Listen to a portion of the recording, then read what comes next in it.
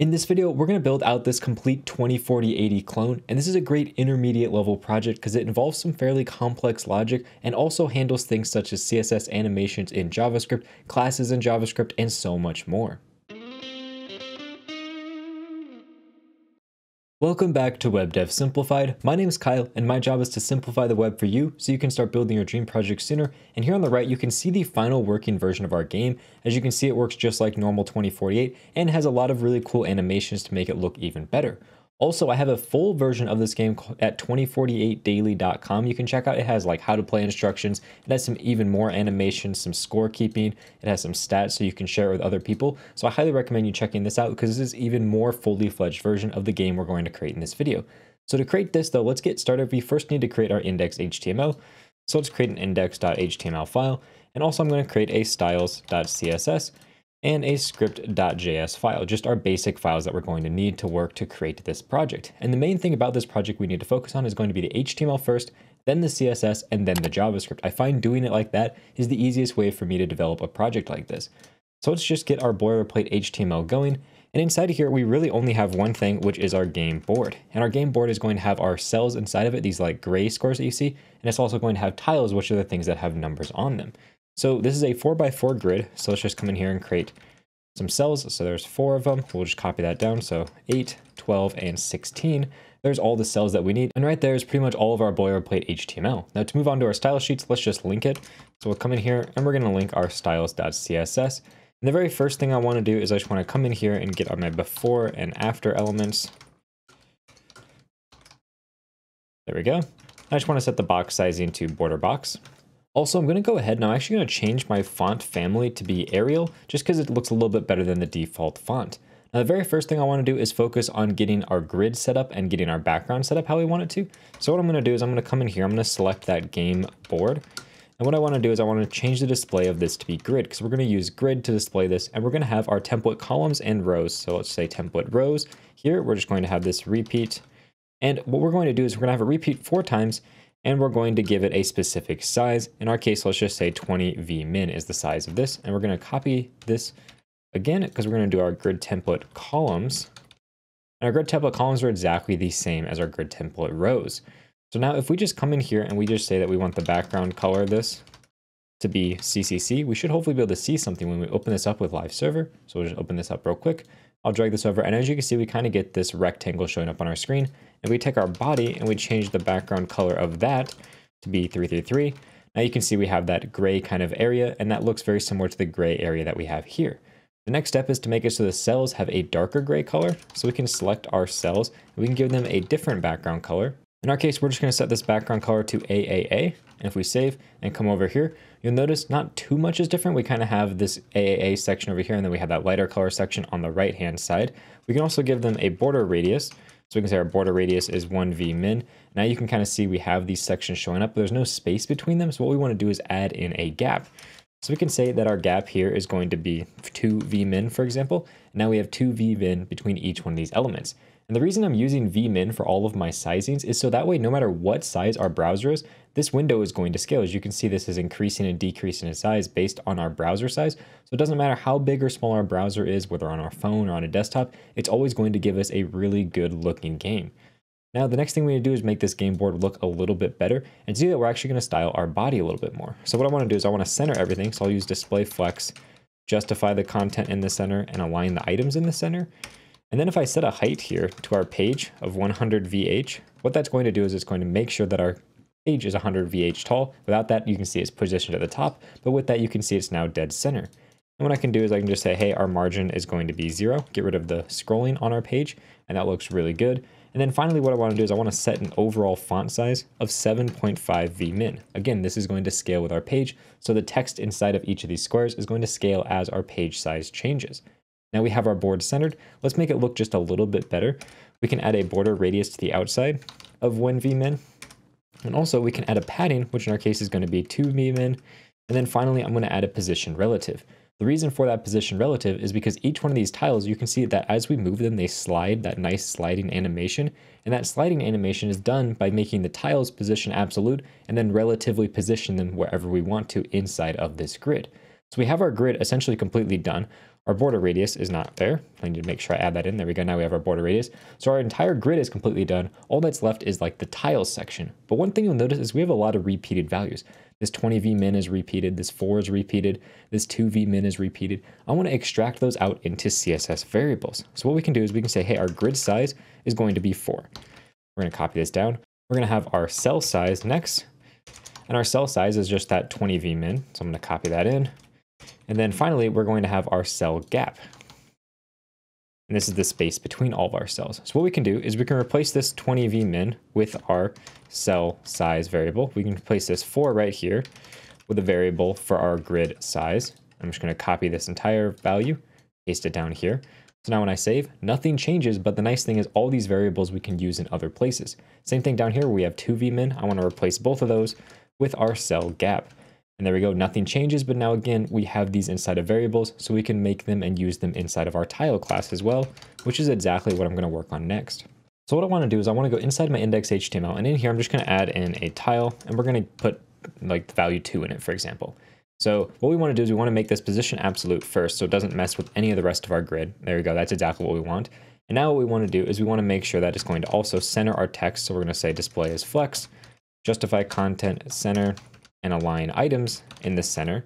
And if we give this a specific width and height, which is our just cell size, which we created a variable for, we just get our height down there, you'll see that now this is going to be centered.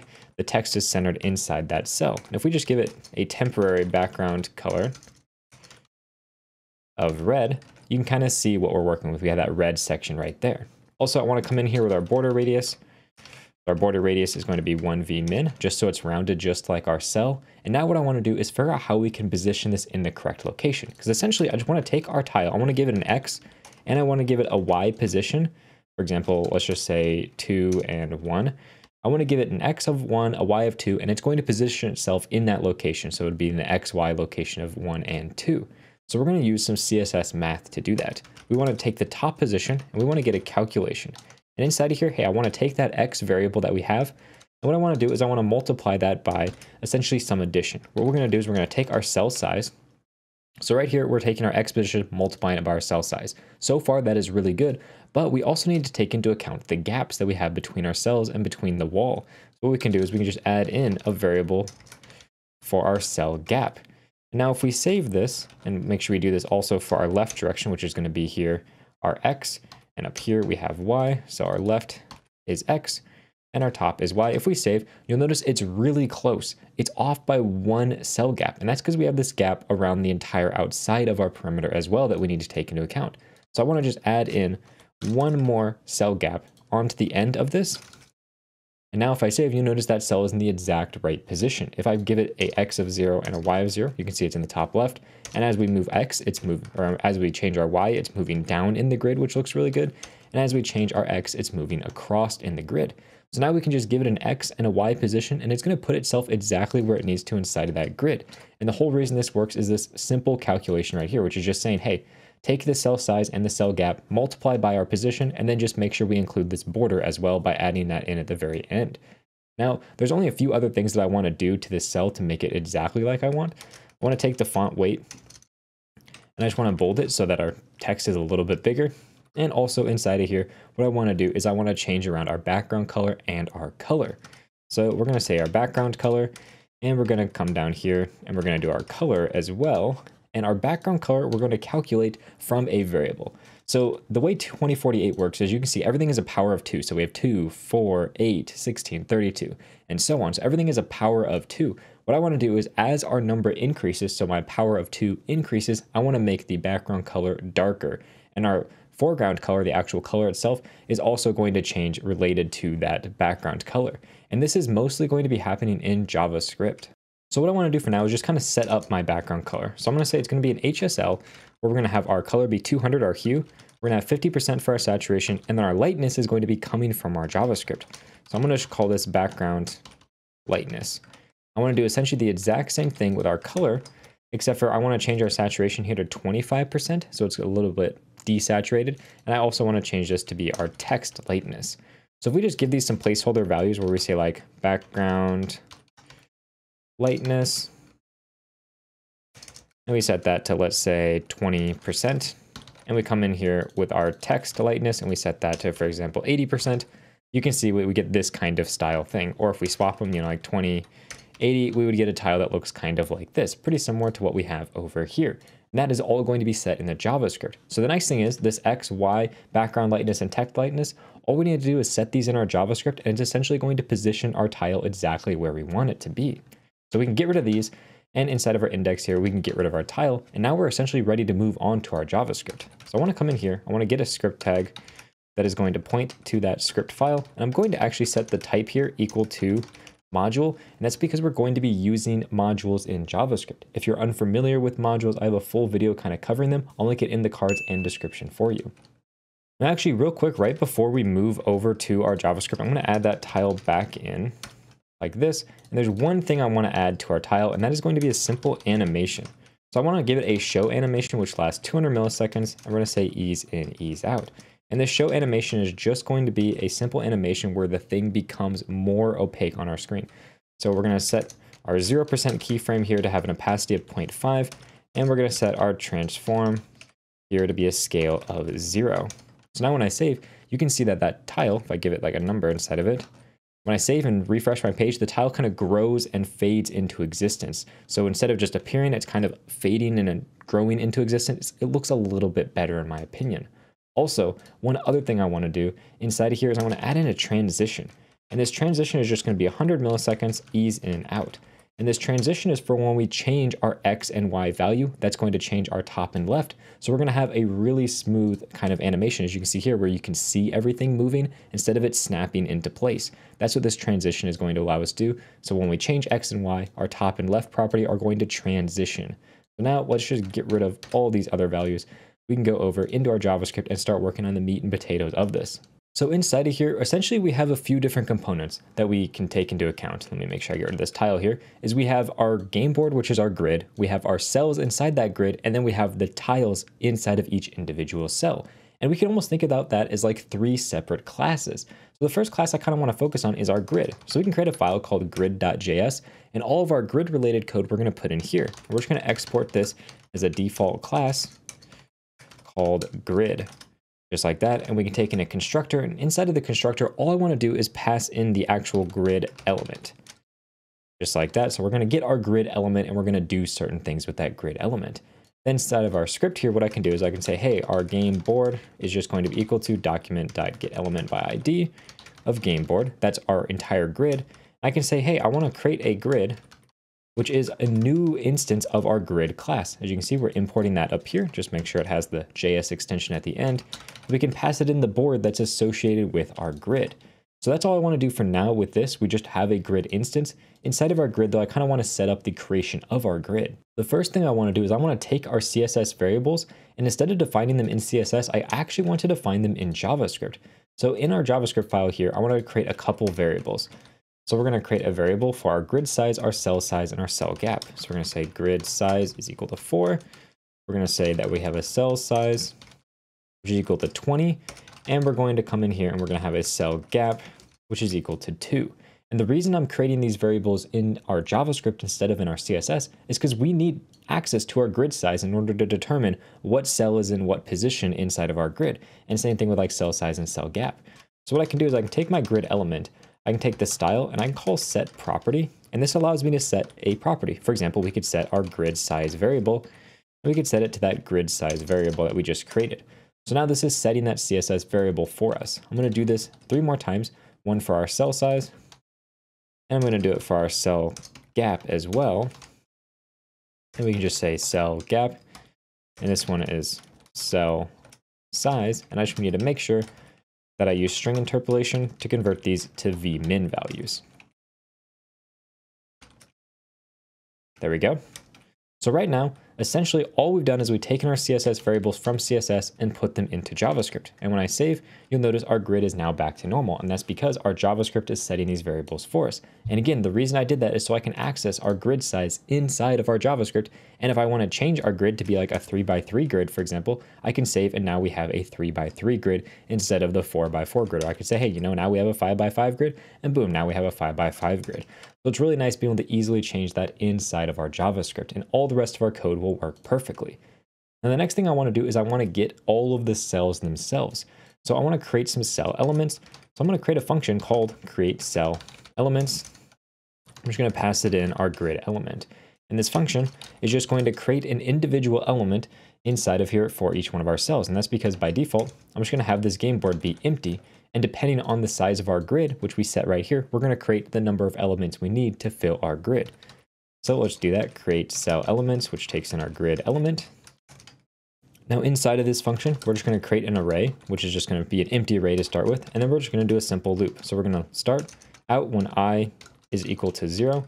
And then we're going to say when i is less than our grid size times itself, essentially our grid size squared. Because if we have a 4 by 4 grid, we're going to have 16 cells, so 4 times 4. And then what I want to do is I just want to add 1 to i. So a simple for loop that's going to give us one loop through it for each one of our cells that we need to create. Then I want to create an individual cell, which is just going to be document dot create element. We just want to create a simple div, and we want to give the class list here of cell to that cell. And then what we can do is take our cell array, we can push that cell into it. So we can say cells.push. So now this array is being added to. We can also take our grid element and we can append our cell itself to it. So we're adding the element to our page and we're adding it to this array, which we're going to return right here. So this create cell elements is going to create all of our cell elements and return them to us. And when we save, you'll notice our grid is now populated. And that's because this grid element.append is adding each cell we create into our grid. And you notice we don't have to put any of that in our JavaScript. And again, if we come in here and we change this value to like a 3 by 3 grid, you can now see our grid works perfectly with that 3 by 3 grid. And that's because everything is hooked up with these variables. So we have our grid class. The next thing we need is a cell class. So let's come in here and we're going to create a class called cell. And this cell class is going to have a constructor, which is going to take in our element. So we're just going to say cell element, an X and a Y position. So we'll say this dot cell element equals cell element. Then we say this dot X equals X and this dot Y equals Y. There we go. That is essentially our cell complete. And up here, we can create a variable called cells. So we can say this dot cells is equal to and what we want to do is create a bunch of new cells. So we can take this array that's being returned, we can call map on it. So we're going to have each one of our cell elements. And for each one of our cell elements, I want to return a new cell object. And the cell object is going to take in our cell element. So right here we have our cell element. And then it's also going to take in an X and a Y. So to calculate our X and our Y, we need to do essentially a little bit of math that's going to involve our index. So we're going to need to get the index value here. To get the x position, what we can do is we can just take our index and we can just say modulo our grid size. This is going to give us our x position because if, for example, our index is the value 3, 3 modulo 4 is going to return 3. If our index here is, for example, 6, 6 modulo 4 is going to return 2. So it's going to tell us exactly where it is inside of our grid. Now to get the y value, it's very similar. We can just take our index and we can divide it by our grid size. This is going to give us like 1.2, for example, or like 1.5. If our index is 6 and our grid size is 4, this is going to return 1.5. What we want to do is we just want to get an integer. So we're just going to say math.floor, and that is going to give us the actual position of the y element inside of our cell.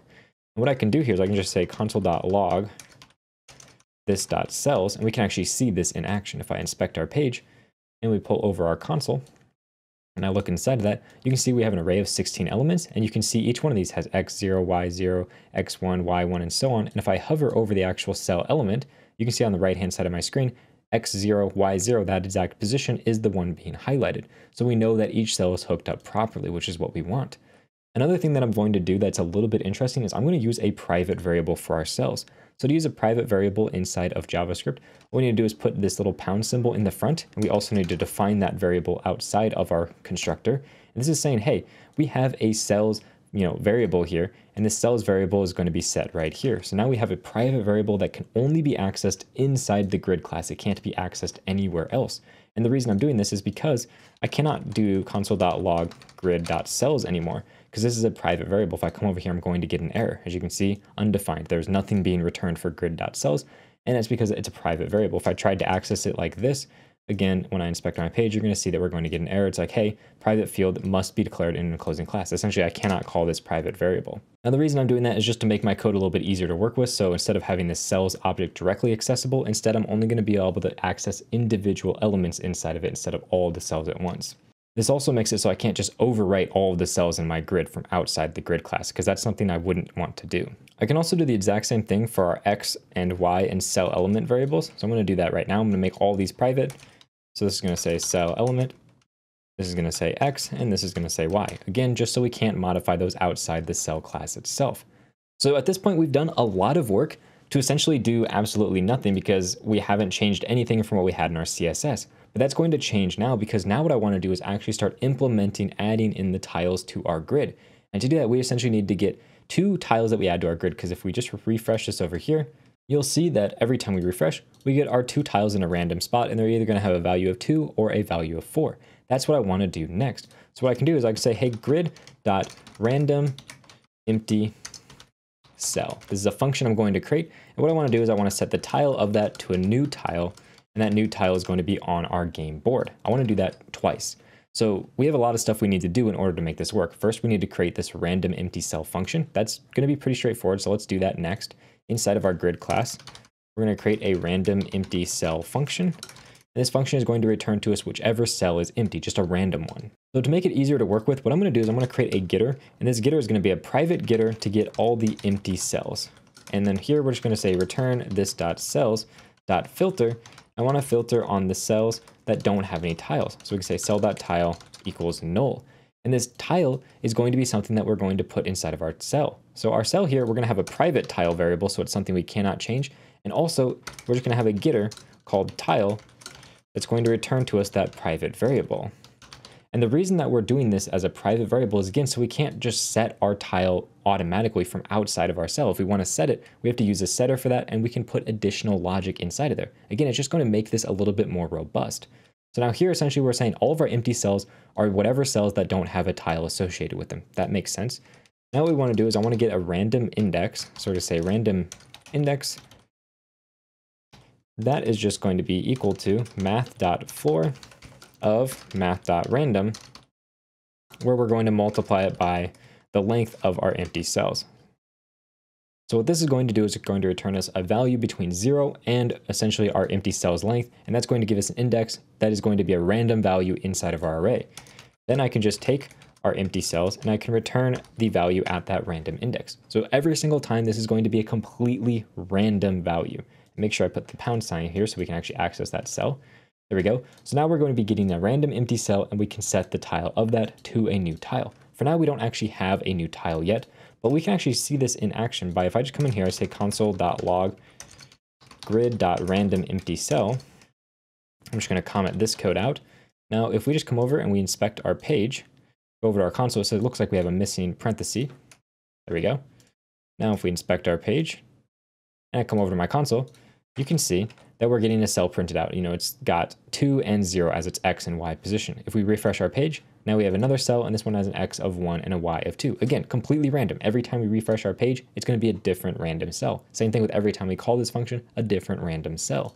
So now the next step is going to be obviously making it so that we can set our tile on our actual cell, because right now, we go over to our cell, you can see we don't have any way to set the tile. Let's create a setter to set our tile. This is going to take in a value. The first thing I obviously want to do is I want to take our private tile variable. I want to set it equal to that value. And then if our value is equal to null, just return, don't do anything else. So all I've said is, hey, get rid of the tile that we have set, essentially, if our value is null. Otherwise, if it is a real value, what I want to do is I want to take the x and y values on our tile and set them to the x and y position of our cell. So we're going to come in here, tile.y equals this dot y just like that. So in order to explain what's happening here, our tile has an X and Y position, which is where it is in the grid. For example, this tile is in the top left position. When we click the arrow key, we're moving our tile all the way over to the top right position. So what I'm doing is I'm taking my tile from one cell and I'm moving it into another cell. And when I move a tile from one cell to the other, I need to tell the tile, hey, you are moving from your old X position to this new X and Y position. That's essentially what this is doing. So let's move over to our tile class to figure out exactly how we're going to hook all this up because essentially all we're going to do when we set our X and Y is just change some CSS variables and then all the CSS we wrote, you know, with the transition here is going to do all the magic for us to make it animate across the screen. Let me just save all these files real quick and we're going to create a new file called tile.js. Inside of here, I'm going to export a default class, which we're going to call tile. And this default tile class has a constructor, which is going to take in our tile container. That's essentially our game board. And it's going to take in optionally a value. And by default, this value is just going to be something between 1 and 2. So we're going to say 50% chance it's going to be 2 or it's going to be 4. This math.random greater than 0.5, that's just saying half the time do one thing, half the time do the other thing. So half the time make the value 4, half the time make it 2.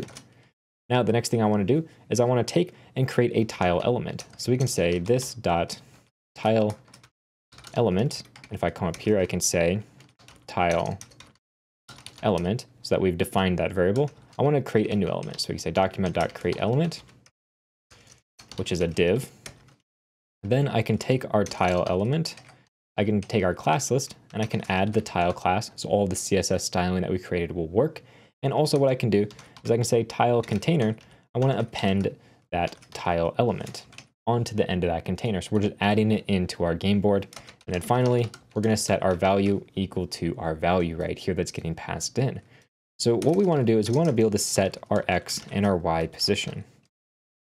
So let's come down here, say set Y. And that's because inside of here, we're setting this X and Y position. Anytime we set a tile to a cell, we're giving it a specific X and Y position. So to do this, first we need to define that we have a uh, hidden variable, a private variable for our x and y. And we want to say this dot x is equal to our value. Pretty straightforward, just like we did before. Same thing for our y down here. We're going to set it equal to our value.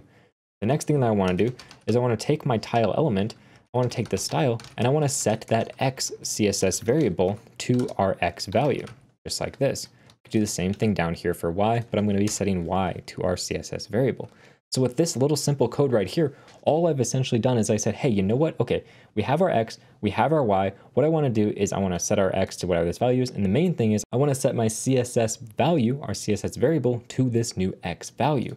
And this is what's actually going to position it in the correct location on our screen.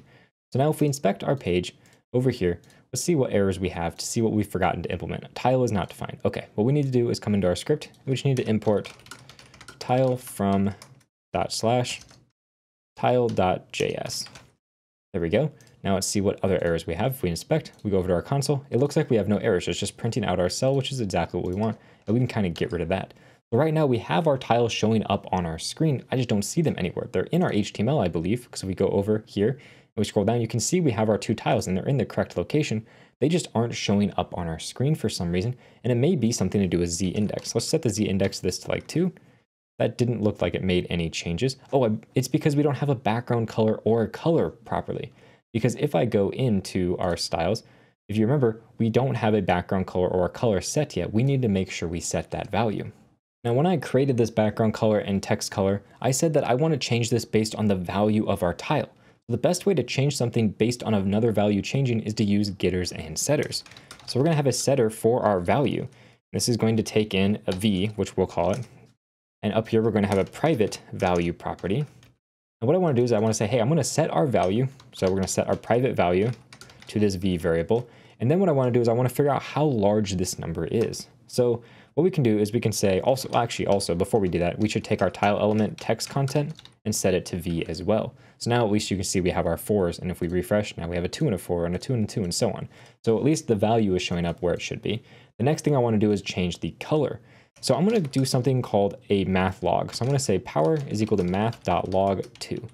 And this is going to be v. What this is going to do is essentially going to determine how many times has this number been raised to the power of 2. So like 2 is just 1, it's going to return here. 4 is going to return 2 because it's 2 squared. If I put 8 into here, it's going to return 3 because it's 2 cubed. So this is going to essentially give us the power of our number. So essentially every time we combine together a tile, this power number is going to increase by 1.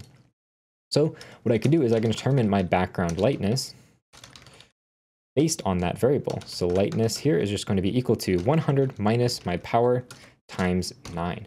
Now, this isn't some fancy formula. Really, all I'm doing is saying, hey, as my power gets bigger, decrease my background lightness. Specifically, every time my power increases by 1, decrease my lightness by 9%.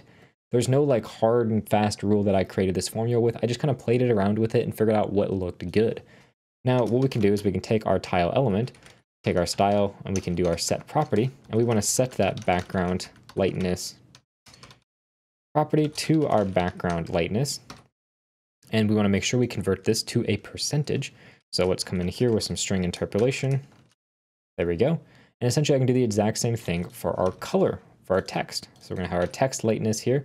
And our text lightness is gonna be a little interesting. I'm gonna say if our background lightness is less than or equal to 50, then I wanna use essentially a bright color.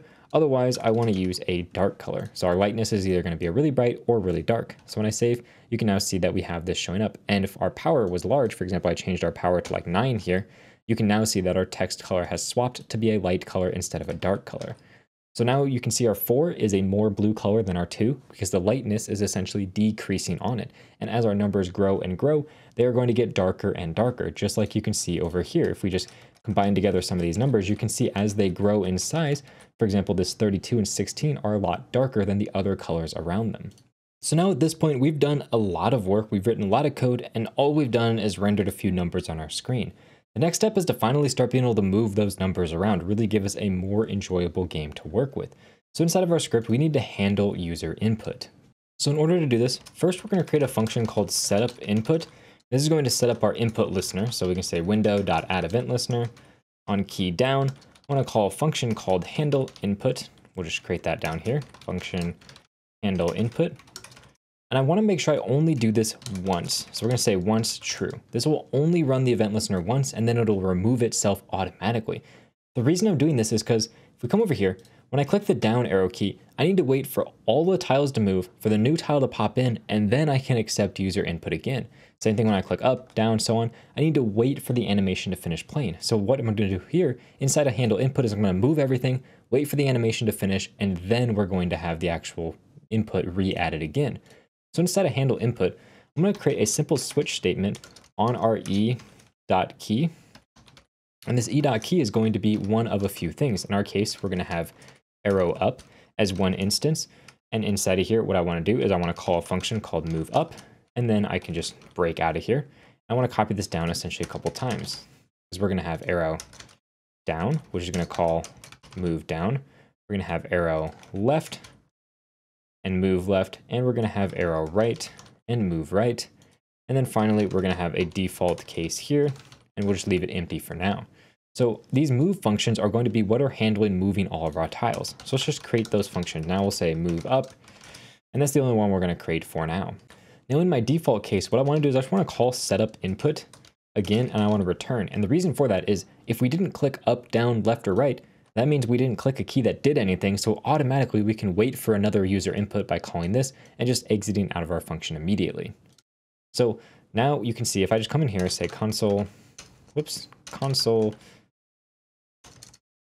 dot log e dot key, I come over here and I inspect our page, go to our console. If I click the A key, you can see doesn't look like anything happening. That's because I didn't call setup input. There we go. Now we can actually inspect our page, go to our console, click A, you can see it's printing out A and so on, it prints out everything. And now if I click left, you can see it's trying to call move left, which doesn't exist. Same thing with if I clicked all the other buttons, they would call functions that don't exist. You also notice we're not setting up our input again. I need to make sure down here, I call setup input again. There we go. So now no matter what key we press, it's going to reset up our input. And we're also going to have other things that happen down here. And that's why I have this return here, because if we don't click an arrow key, I don't want to run the other code that like adds in new tiles and does all the merging and all that other fun stuff. So now if you remember, I said that we're going to have a bunch of different files or functions for moving up, down, left, and right. And inside of here, all I want to do is I want to call a helper function, which we're going to call slide tiles. And this is going to take in all of the tiles that we want to slide by in like an actual grid. So it's going to be like a four by four array. Because right now, our cells inside of here, if we say grid.cells, and we actually make sure that we get all of our cells, this is going to be a 16 array, long array, and it's a one dimensional array. We want a two dimensional array that's going to be all of our columns and our rows. And in order to make things move up, the way we want to have our cells is we're going to have our cells by column. We're taking all of our grid cells and we're going to be orienting them by column instead of by row. And that's because we want to be able to check things. When we slide our tiles, we want to be able to check things down the column because we're moving things upwards the column. So we want to be able to check, hey, in this particular cell, what's above it and what's above that and what's above that. So we want to make sure we organize these by column. For example, if we were moving left or right, we would need to organize these by row instead. So what I want to do is we just want to do it by column. And inside of our grid class, we can create a simple function that's going to allow us to do that. We can say here, we're going to have a getter that is just cells by column. And all this getter is going to do is take our normal cells and it's going to return to us a new array, which is going to organize them by column. I'm going to take our cells, oops, not the empty cells, all of our cells. I'm going to call the reduce function, which is going to take in our new cell grid variable, as well as the individual cell we're currently on. And by default, this is going to start out as an empty array. And all I want to do is I want to take our cell grid. I want to get the X position of our cell. I want to set that either to our current cell grid of X or an empty array. This is just essentially saying, hey, if there is no array already for this row, add an array. And then what I want to do is I want to take our cell grid. I want to get the cell dot x. And I want to set that to our cell dot y. And that is just our cell. So essentially what we've done here is we've created an array of array. Our first variable represents our row and our second element in that array represents our columns. So essentially our array, if we save this and just print this out, you can kind of see what we're talking about. I'll come all the way to the top here and I'll just say console.log grid.cells by column. Let's inspect this. And we go into our console, cannot read property undefined, reading undefined. Looks like we have an error right here. Let me just see. When I was trying to get our cell grid of cell.x. Oh, it's because I need to make sure inside of here, we return our cell grid. There we go. That should fix our error. Now let's inspect our page, go over to our console, and you can see that this is obviously not quite what we're looking for. Now the reason this isn't working is because our x and y variables are private. We need to create getters to be able to access those x and y variables. So we can say get x is going to return this dot x. I can do the exact same thing for y, and this should hopefully solve these issues. There we go. Now if I inspect my page, now that we have getters for those, you can see we get a 4 by 4 array. And as you can see, all of our x zeros are going to be the first element and our y's are showing up in column-based order. Same thing with the next row in our grid or in our array is our next row in our grid. And you can see everything with x1 and then our y's are all in order. So essentially we've created it so that it's really easy for us to go row by row and column by column to exactly sort through what's going on. So where x is equal to zero, that's this first column right here. Where x is equal to one, that's this second column right here. So each array inside this array represents one column of our grid. So when we're looping through this, we can say, okay, everything for this one column, we're going to do all the code for it, and then we move on to the next column. And I'll show you exactly what I'm talking about when we implement this function, if we scroll down here, called slide tiles. Let me just make sure we return the results of that. Slide tiles is going to take in our cells. So we can say cells here, and then inside of here, we just want to loop through each one of our cells. So for each one of these cells we loop through, we're going to get a specific group. In our case, for moving up, this is going to be a column. We're going to be getting one single column. So this group is a column, but as we call this function with you know move left and move right, it might represent a row. But in our case, this is representing a column. Then what we want to do is we want to loop through that column and we want to loop through each of the rows in that column. So we're going to create a simple for loop. We can say for let i equal 1 and i is less than group dot length, and then i plus plus. Pretty straightforward. We're just looping through this full group. Then what I want to do is I want to get the actual cell for our group at that index. So this is the particular cell we're working on. And then what I want to do here is another for loop. And this for loop is to loop through all the remaining tiles in this column. So we have our full column, and let's say that we're getting the very first element in our column, this very bottom one, because we're moving upward. What I want to do is I want to get this bottom element, and then what I want to do is I want to check all the elements above it, and I say, hey, can I move to the element above this? Can I move to the element above that? Can I move to the element above that? And so on. I want to constantly check if I can move upwards. And we're going to be starting at the top here. And this top one obviously can't move up, so that's fine. That's why we're starting with i equal 1 here, because this top thing can never move.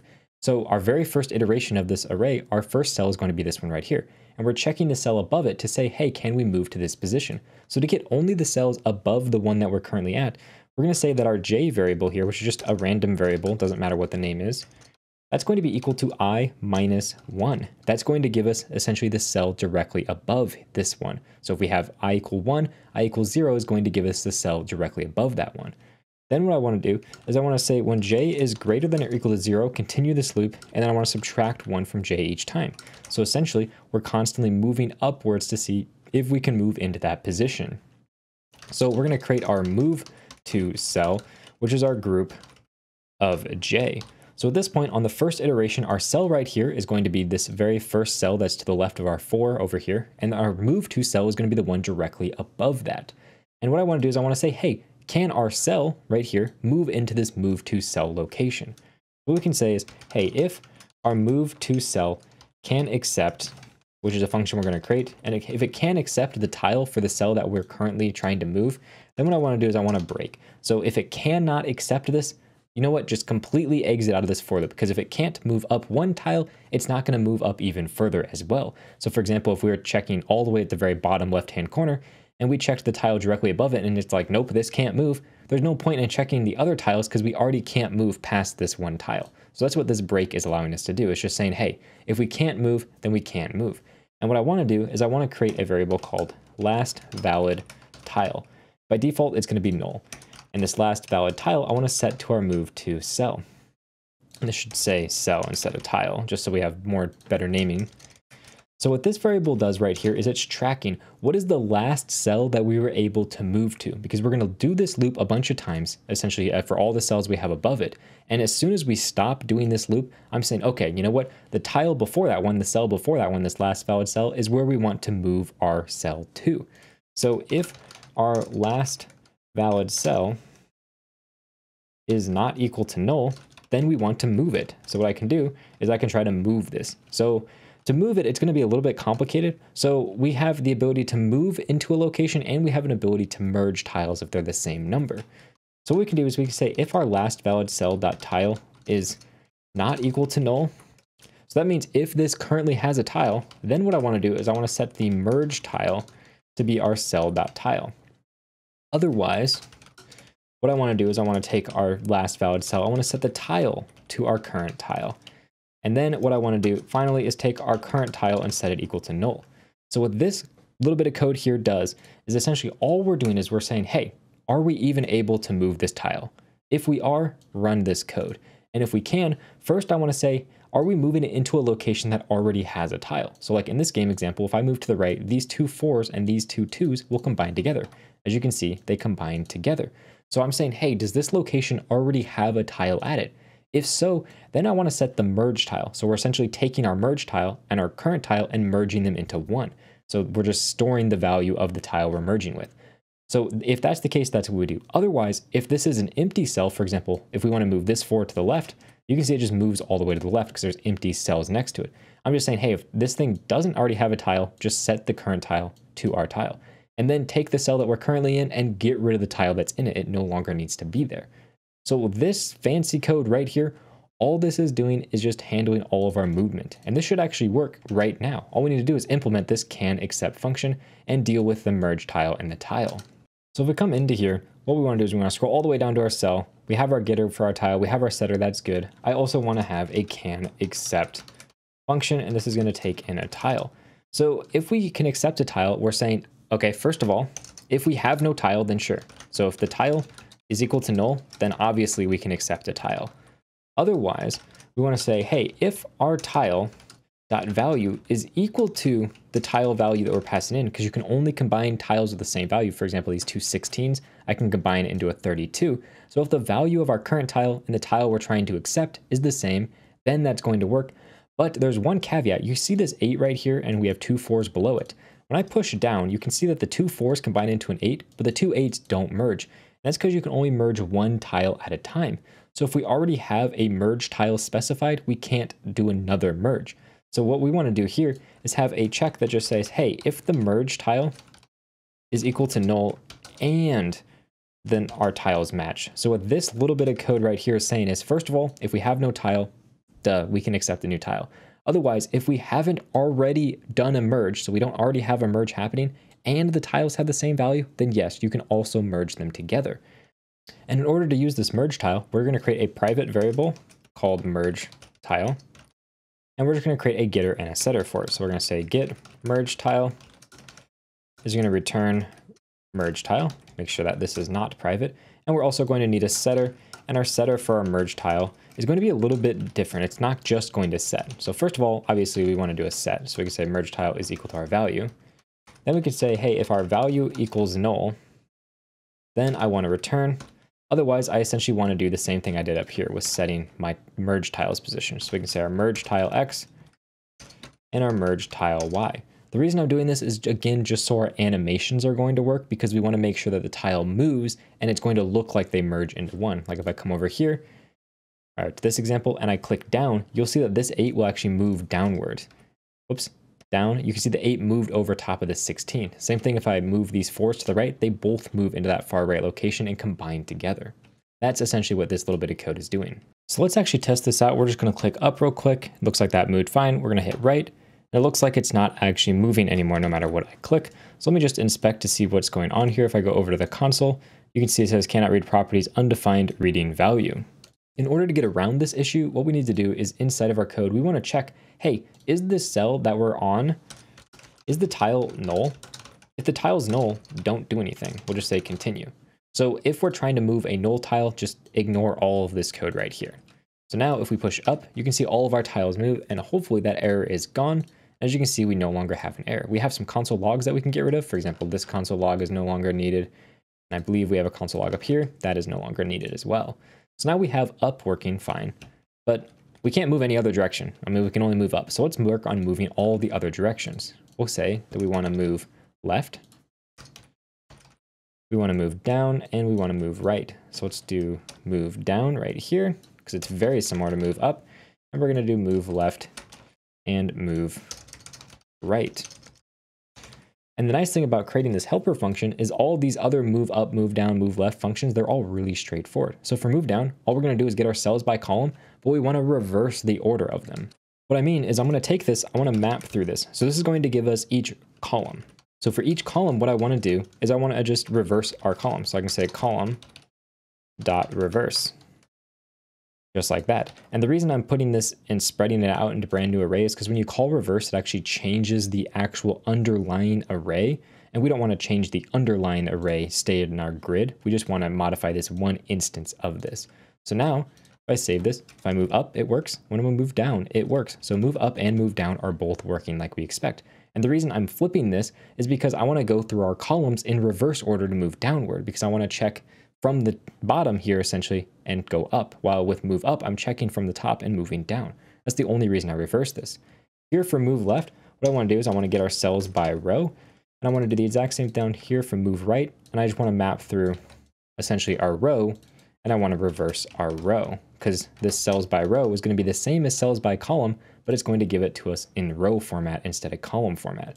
So we can copy this because it's going to be an almost identical function all I need to do inside of here is just kind of swap the position of where our X's and our Y's are going to go. Because instead of being by column, I want this to be by row.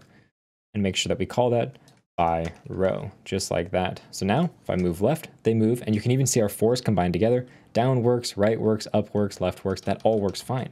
Now the reason this four is showing up still here in the top left corner is because we're not handling what happens when two tiles merge together. This tile just no longer exists. It's not attached to anything. It's saved as the merge tile, but we want to make sure we get rid of these merge tiles and combine them together into larger tiles whenever we do a movement.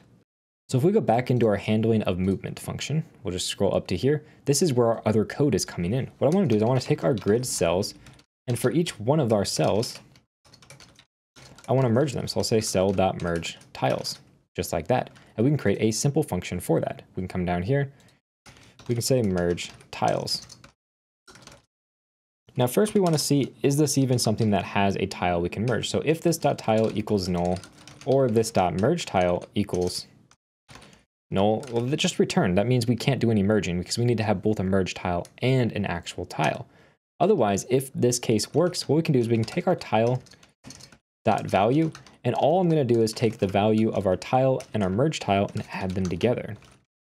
And what this is going to do is essentially double the value of our tile.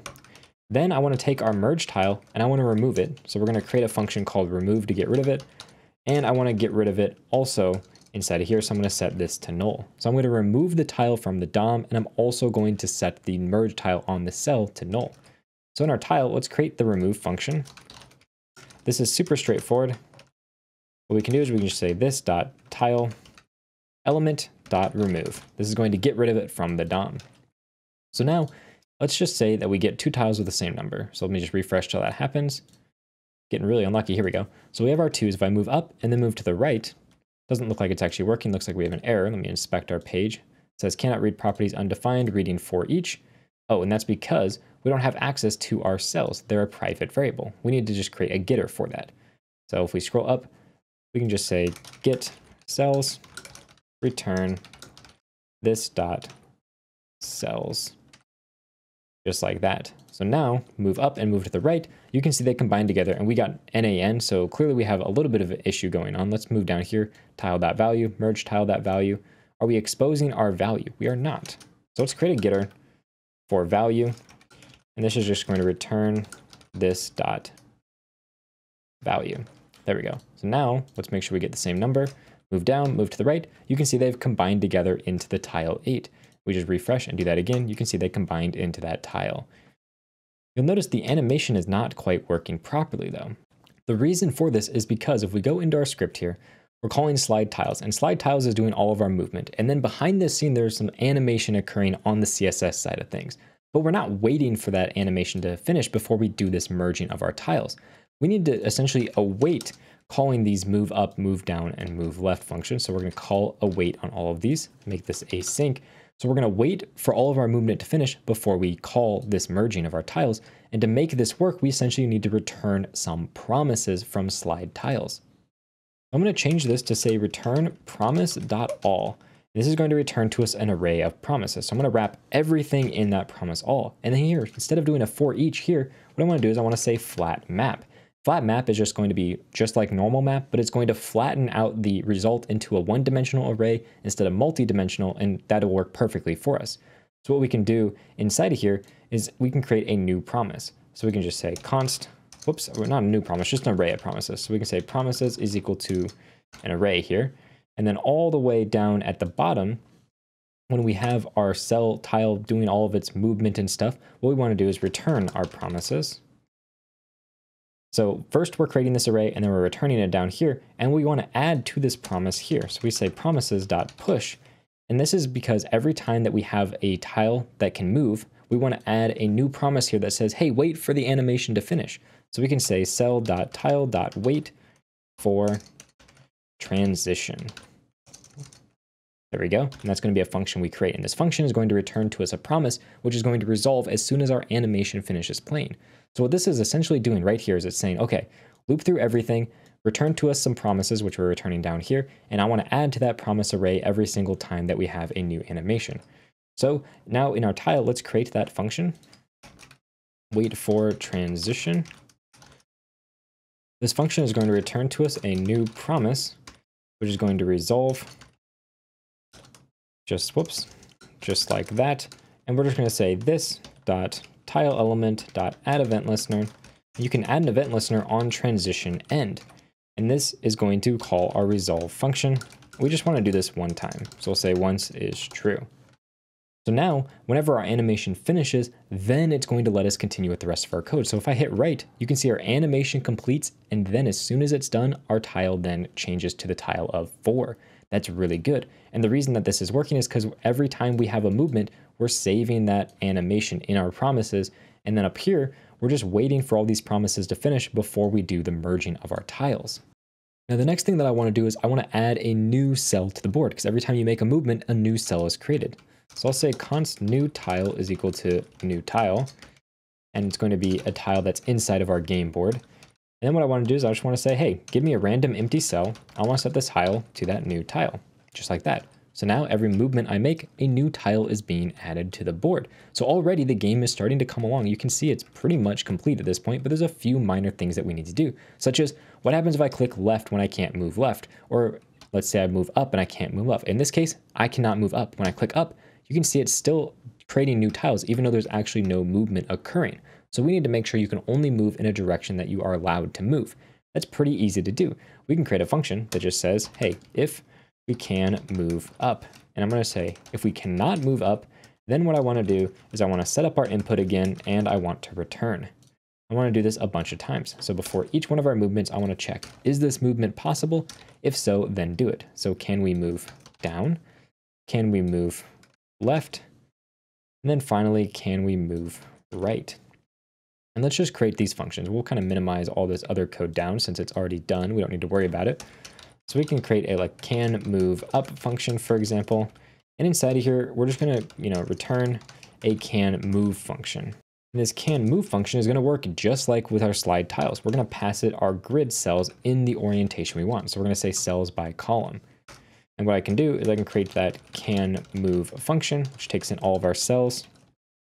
And I can say, hey, return cells dot sum of our group. In our case, this is going to be a column. And then I want to do another return of our group dot sum. And this is going to take in our cell and it's going to take in an index. So inside of here, I just want to check, is it possible to move any of the cells at all? So this is pretty easy to do. If our index here is equal to zero, then return false because we cannot move a cell. Like we can't move the top cell upwards. It's impossible. So we're going to immediately return false. Then we're going to say, hey, if our cell dot tile equals null, so if there's no tile at all, also return false because we can't move an empty cell. Just That's just not how it works. You can only move the cells that exist.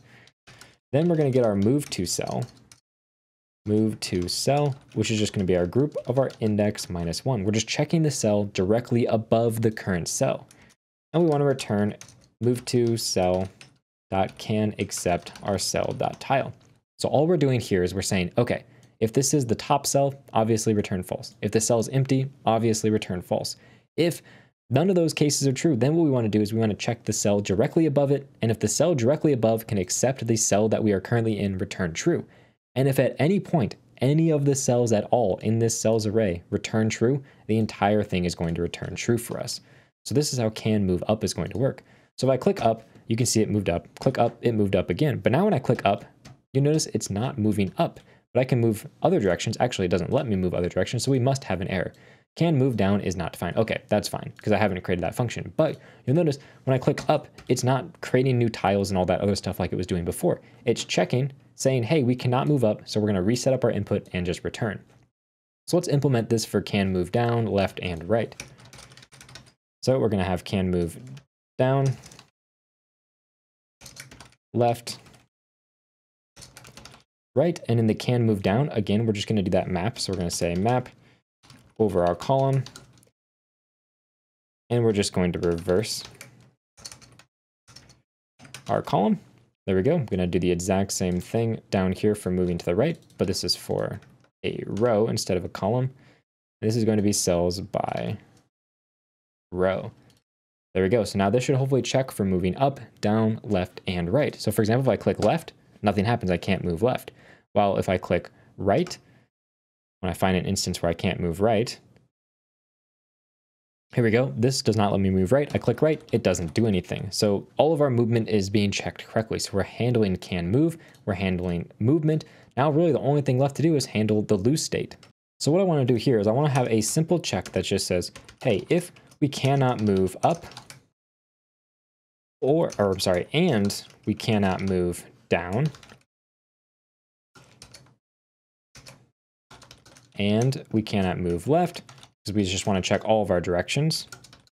And we cannot move right. So if we can't move in any direction, we've lost. So what I want to do is I want to say, hey, take our new tile. I want to wait for our transition. I'm going to pass in true here. And that's because in this function, I'm going to determine, is this an animation? I'm going to set this to false. By default, it's not an animation. So we're going to say, if it's an animation, then here we're going to say animation end instead of transition end, otherwise transition end. So what this code does is there's a different event to listen to for animations versus transitions. And in our styles, you can see our animation is what we use when the tile appears, while a transition is what we use when the tile moves side to side or up and down. So that's why we're checking for an animation here, which is where we're passing in true. When that animation of the tile finishes appearing, what I want to do is I just want to have a simple alert that says you lose. Pretty straightforward. And then here, I just want to have a simple else, which is where we're going to put up our setup input. And instead of an else, let's just do a return here, and then we can get rid of that. There we go. That does the exact same thing. So I'm just making sure we don't add our input again. Even though if we added our input, it wouldn't matter because all of these are going to make sure we can move before we allow the movement.